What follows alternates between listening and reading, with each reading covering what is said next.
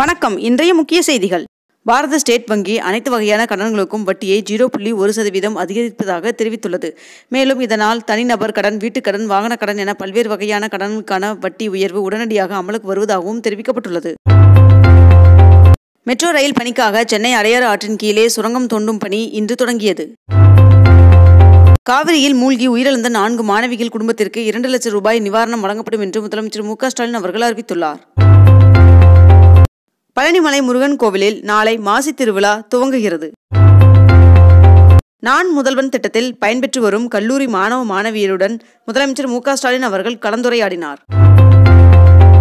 புதுக்கோட்டை மாவட்டத்தில் சிறிய அளவிலான தனியார் துறை வேலைவாய்ப்பு முகாம் நாளை நடைபெற உள்ளதாக அம்மாவட்ட ஆட்சியர் கவிதா ராமு அவர்கள் தெரிவித்துள்ளார்.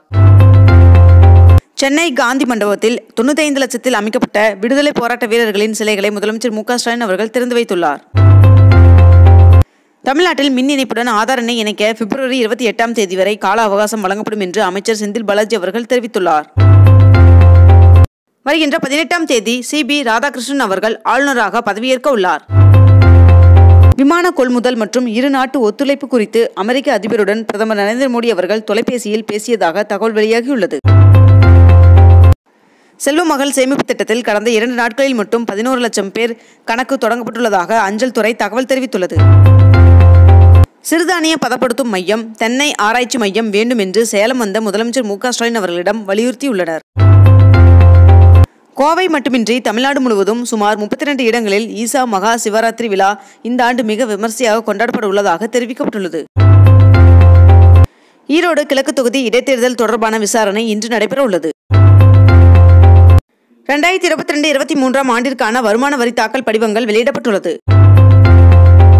மறைந்த முன்னாள் முதலமைச்சர் ஜெயலலிதா அவர்களின் பிறந்தநாளை முன்னிட்டு மார்ச் ஐந்தாம் தேதி முதல் பனிரெண்டாம் தேதி வரை அதிமுக சார்பில் பொதுக்கூட்டம் நடைபெறும் என்று எடப்பாடி பழனிசாமி அவர்கள் அறிவித்துள்ளார். தமிழ்நாடு முழுவதும் நூத்தி முப்பத்தி ஏழு கோவில்களில் திருப்பணி தொடங்க இந்து சமய அறநிலைத்துறை ஒப்புதல் அளித்துள்ளது. பிபிசி அலுவலகத்தில் வருமான வரித்துறை அதிகாரிகள் இரண்டாவது நாளாக அதிரடி சோதனை நடத்தி வருகின்றனர். திரிபுராவில் இன்று சட்டப்பேரவை தேர்தல் நடைபெற உள்ளது குடியரசுத் தலைவர் வருகையொட்டி மதுரையில் பிப்ரவரி பதினெட்டு மற்றும் பத்தொன்பது ஆகிய இரண்டு தேதிகளில் ட்ரோன்கள் பறக்க தடை விதிக்கப்பட்டுள்ளது. டிக்கெட் கட்டணம் அதிகமாக வசூலிக்கும் திரையரங்குகள் மீது நடவடிக்கை எடுக்க வேண்டும் என்று சென்னை உயர்நீதிமன்றம் உத்தரவிட்டுள்ளது. சென்னையில் பிப்ரவரி இருபதாம் தேதி பன்ருட்டி ராமச்சந்திரன் அவர்களின் தலைமையில் தலைமை கழக நிர்வாகிகள் மாவட்ட செயலாளர்களுடன் ஆலோசனைக் கூட்டம் நடைபெறும் என்று ஓபிஎஸ் அவர்கள் அறிவித்துள்ளார். ஆதார் எண்ணுடன் பான் கார்டை வருகின்ற மார்ச் முப்பத்தி ஒன்றாம் தேதிக்குள் இணைக்காவிட்டால் ஏப்ரல் ஒன்றாம் தேதி முதல் பான் கார்டு செயலற்றதாகிவிடும் என்று மத்திய வரிகள் வாரியம் தெரிவித்துள்ளது. இந்திய குடிமகனாக இல்லாத எவருக்கும் புதிய ரேஷன் அட்டை வழங்கக்கூடாது என்று உணவுப் பொருள் வழங்கல் துறை சற்று முன் உத்தரவு பிறப்பித்துள்ளது. தமிழ்நாட்டில் பல இடங்களில் தேசிய புலனாய்வு நிறுவனமான என்ஐஏ அதிகாரிகள் சோதனை நடத்தி வருகின்றனர். தமிழ்நாட்டில் முன்னூத்தி முப்பது கோவில்களின் சார்பில் வருகின்ற பதினெட்டு மற்றும் பத்தொன்பது ஆகிய தேதிகளில் மகா சிவராத்திரி விழா கொண்டாடப்படும் என்று அமைச்சர் சேகர்பாபு அவர்கள் தெரிவித்துள்ளார். தமிழ்நாடு மின் வாகன கொள்கை இரண்டாயிரத்தி இருபத்தி மூன்றை தலைமை செயலகத்தில் முதலமைச்சர் மு ஸ்டாலின் அவர்கள் வெளியிட்டார். நெசவாளர்களுக்கான முத்ரா கடன் திட்டத்தை சிறப்பாக செயல்படுத்தும் மாநிலங்களில் கடந்த ஆறு ஆண்டுகளாக தமிழ்நாடு தொடர்ந்து முதலிடத்தை பிடித்து வருகிறது.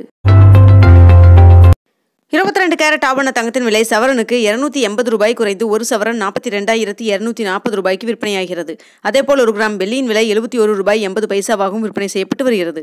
இத்துடன் இன்றைய தலைப்பு செய்திகள் நிறைவடைகின்றன. மேலும் இதுபோன்ற அண்மை தகவல்களை உடனுக்குடன் தெரிந்து கொள்ள அக்னிபூ சேனலை சப்ஸ்கிரைப் செய்து கொண்டு தொடர்ந்து இணைந்திருங்கள். நன்றி வணக்கம்.